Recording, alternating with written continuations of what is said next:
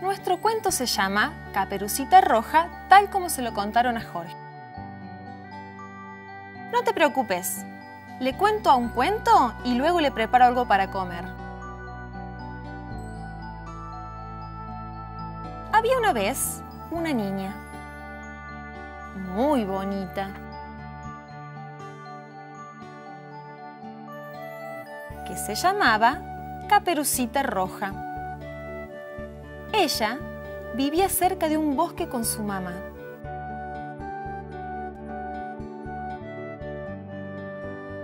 Cierta vez, la mamá le dijo que llevara una comida para la abuelita. Pero la abuela vivía muy lejos.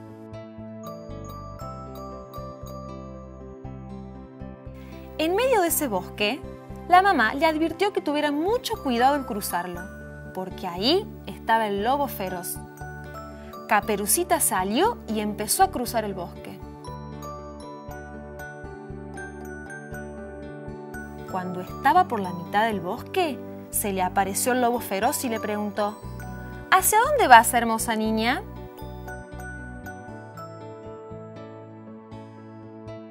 Caperucita, olvidándose lo que su mamá le había avisado, le contó que iba a casa de su abuelita.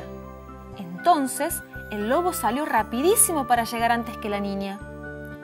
Cuando llegó, el lobo se comió la abuela de Caperucita. Inmediatamente se puso la ropa de la abuela para esperar a que llegara la niña y engañarla. Cuando Caperucita llegó, se encontró al lobo disfrazado de su abuelita, acostado en la cama, pero no lo reconoció. La niña empezó a preguntar, ¿por qué tenés una nariz tan grande, abuelita? Para oler mejor, le dijo el lobo. ¿Y por qué tienes unas orejas tan grandes? Para oír mejor, le respondía el lobo. ¿Y por qué tienes esa boca tan grande? Y el lobo dijo, para comerte mejor. Pero, ¿qué crees que pasó? En ese momento apareció un cazador.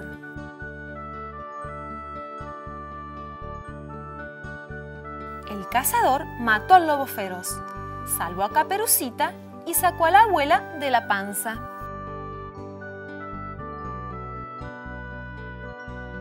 Así fue que regresaron los tres juntos a la casa de la abuela, muy felices y a salvo.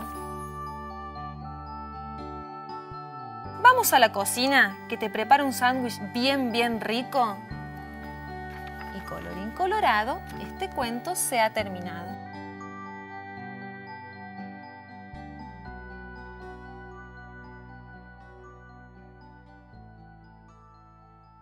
¿Me lees?